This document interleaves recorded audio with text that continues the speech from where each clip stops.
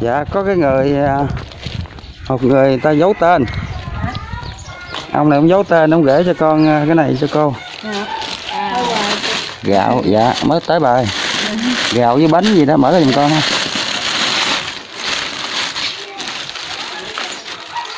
Người ta giấu tên người ta gửi cho mình vậy này chắc cũng ở ở xa hay ở gần con không biết ở bên nhà thờ. Giống vậy là chắc ở gần tao mới giấu tên chứ ở xa không Dạ. giấu đâu. Ông đó có gửi nhiều lần lắm rồi đó. Tại vì người ta không muốn nói tên ra. Một chục cái gạo. Còn cái này là bột ngọt hay là bánh sữa gì nữa đó con không biết. Rồi ok.